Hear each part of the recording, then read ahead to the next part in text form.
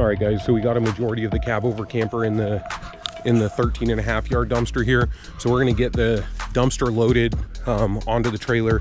And then there's this pile. It's just a mix of just trash and dirt. So we're gonna have to get the smooth bucket and get it into my dump trailer, which is over there. So this whole area was all full of trash and metal. We took one full dumpster load of metal the other day. Then we still have all these tires and stuff to get rid of. And then there's a full load of trash in this trailer right here too. So we'll get this all loaded up, get this dumped, and then come back for all these tires. And while I'm gone, I think my father-in-law is gonna fit the rest of this stuff into my dump trailer. There's some room on one of the sides, so this will all go in there. And then all we have is the tires and the appliances to get rid of. We're all done here.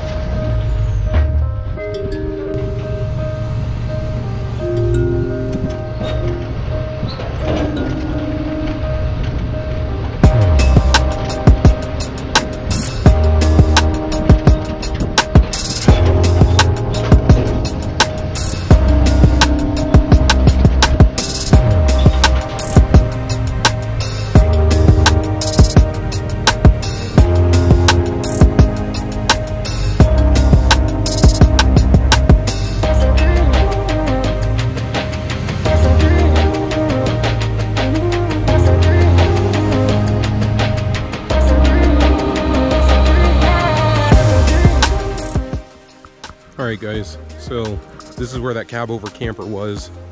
We ended up getting it all demoed and loaded into one of my 13 yard dumpsters. And then while I was hauling that, we just filtered through the rest of the trash and threw it in the dump trailer that was here on site already to clean up the rest of this. So all this is all cleaned up. It was a bigger job than just the cab over camper, but I just did the cab over camper part of it. Um, we ended up getting rid of about 20 yards of scrap metal that was all throughout here and then about 12 yards of trash and about 40 tires total. So this is all cleaned up. On to the next job